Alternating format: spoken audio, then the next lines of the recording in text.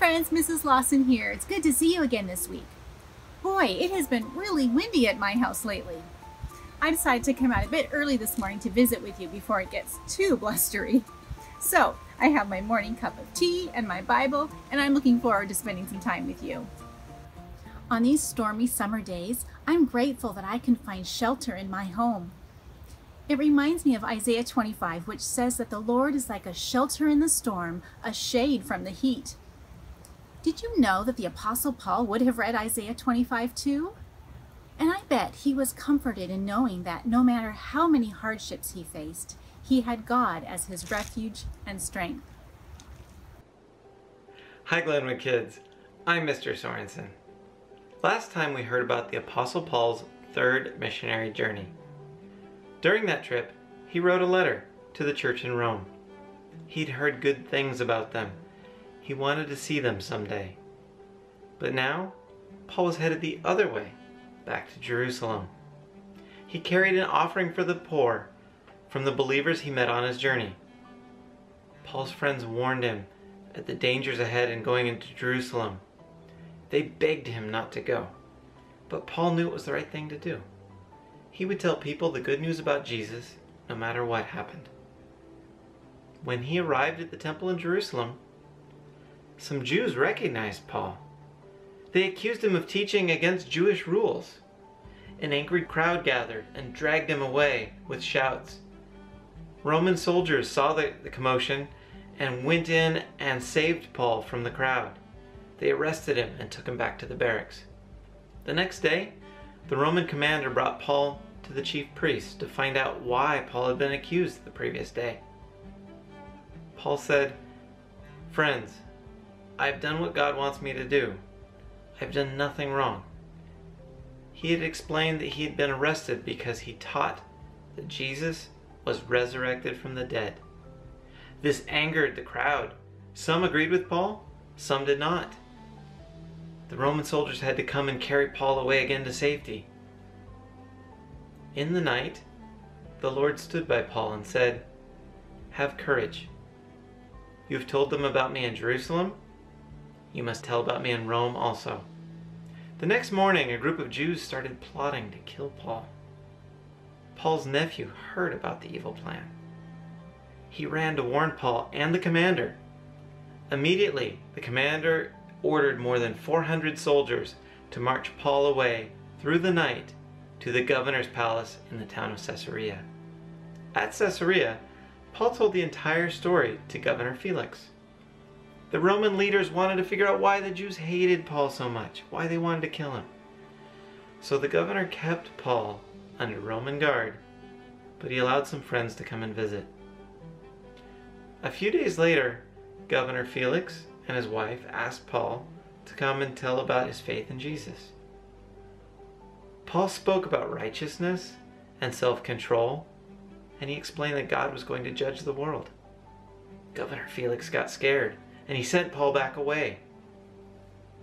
Governor asked Paul to come again and speak many times, but he never did set him free, so Paul remained in prison. Two years later, a new governor, named Festus, replaced Governor Felix. Paul was still under Roman guard. Jewish leaders asked the new governor, Festus, to bring Paul back to Jerusalem they still wanted to attack and kill Paul on the way. Instead, Governor Festus invited them to come to his court in Caesarea. At his court, the Jews came and argued against Paul, but they offered no proof. Then Paul had a turn to get up and speak before Governor Festus. I have not done anything wrong. If I have done something wrong, that deserves punishment, then I will die. If their complaints are not true, do not hand me over to them. I appeal to Caesar. To Caesar you shall go, Festus replied. Paul was allowed to be judged by Caesar in the highest court of Rome rather than go back to Jerusalem. King Agrippa arrived before Paul left to see Governor Festus Governor Festus told Agrippa, All these men have accused Paul, but I cannot find anything wrong. Agrippa knew about the Jewish customs and asked to see Paul. So Paul again came to speak. He spoke to the king in a room filled with important people. Paul shared how he became a believer. He told them how Jesus died to save the Jews and the Gentiles. Paul, you are out of your mind, says Festus. No, said Paul. I am speaking the truth. The king knows about these matters. King Agrippa, do you believe in the prophets? I know that you do. King Agrippa said, Paul, in a short time you'll persuade even me to become a Christian. Oh, how I wish you and everyone listening might believe in Jesus, Paul replied. King Agrippa got up and he told Festus that Paul might have been set free if he had not appealed to Caesar. He could see that Paul was innocent. So Paul unexpectedly was headed to Rome. Continued to obey God and shared the gospel with everyone along the way. Next time, we will learn what happens when Paul sails to Rome to appeal to Caesar. Will you pray with me? Heavenly Father, thank you for, for loving us so much. Thank you for this example of Paul's courage and obedience to share the good news about forgiveness from sin. Please help us to tell people about the good news of Jesus. Amen. Boy, Paul was not frightened to stand before the powerful religious leaders, governors, and kings to tell them the good news of Jesus Christ, was he? Paul knew God is the King of all kings and the ruler of the whole universe, and he gave him the privilege to share the gospel with the world. Well, I'll see you next week for the last episode in our summer series. Oh, hi, Rue. It's great to see you again. You're here just in time. I think you're going to like this next feature. Polly Carpentier has some wonderful furry friends just like you.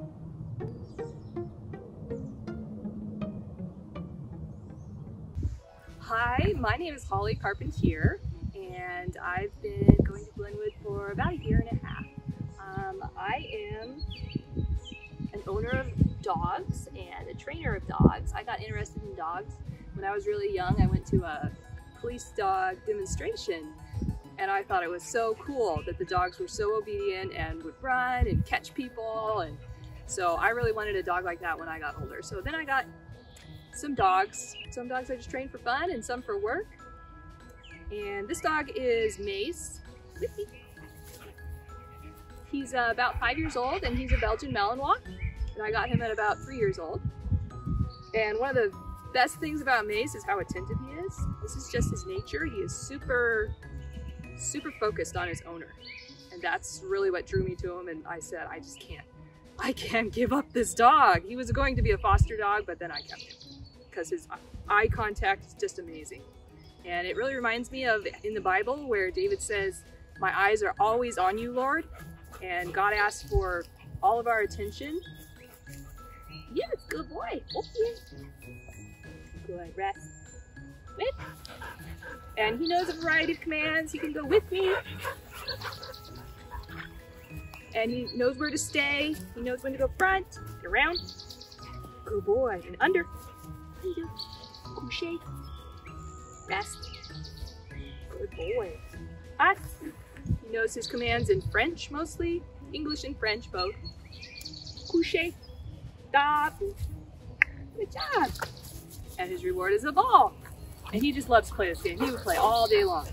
This is my little dog, Coda. Hello. Coda turn. Up.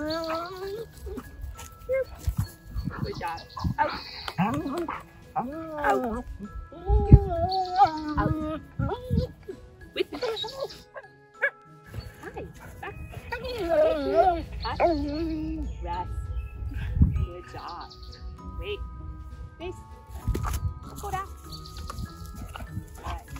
So if I was uh, gardening and dropped my glove or my hat or keys in the garden, I can send Coda to go and find it.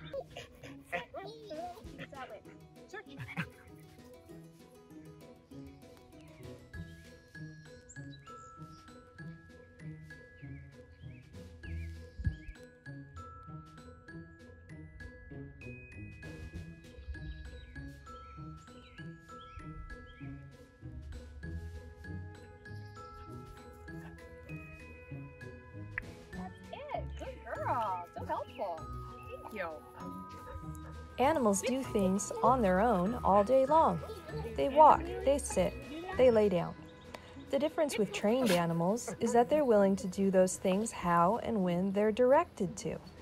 The more trained an animal is, the more able and willing it is to set aside what it might naturally do in a situation and instead do what it's told to do. That's obedience. I worked every day with these dogs for years to get them focused wholeheartedly on me. No matter what's going on around them, they can do the work I set them to obediently without being distracted. Where you fix your eyes, there your heart will be. They are listening for my voice, following my leading. They don't listen to a stranger's voice. Focused heeling is a way of walking that keeps the dog on the left side. The dog learns footwork similar to learning to dance so that he turns and moves at the same time the person does. Deferring means waiting while someone else takes a turn. Self control is very important for deferring. My dogs love to play ball, so after they've worked, I reward them with chasing their favorite toys. I'm thankful for God's gift of dogs. He has used them in my life in many ways to give me joy. He has especially used them as a reminder that just as my dogs look to me for direction, I need to look to God for His direction all the time in every area of my life. Wow, that was great! I love the way animals remind us of what it means to listen, to obey, and to trust. And I'm thankful for friends who lovingly train and guide their pets. What are you thankful for today? Okay, I'm thankful for animals, tomato frogs, and trees. Trees. I'm, I'm thankful for movies, Grammy, and Rainbow Clan. Hey, I'm Eric, And I'm Becca. and, we're, the Buckter Kirkins, and we're here to share with you three things that we're grateful for. I'm grateful for the ability to get outside and run.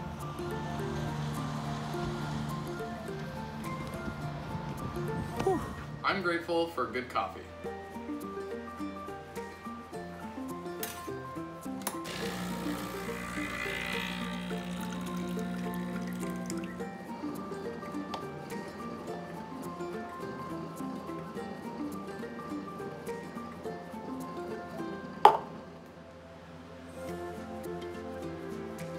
Yummy.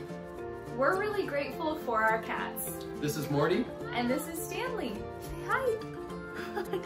Thanks for joining us today. We love being able to show you what we were grateful for.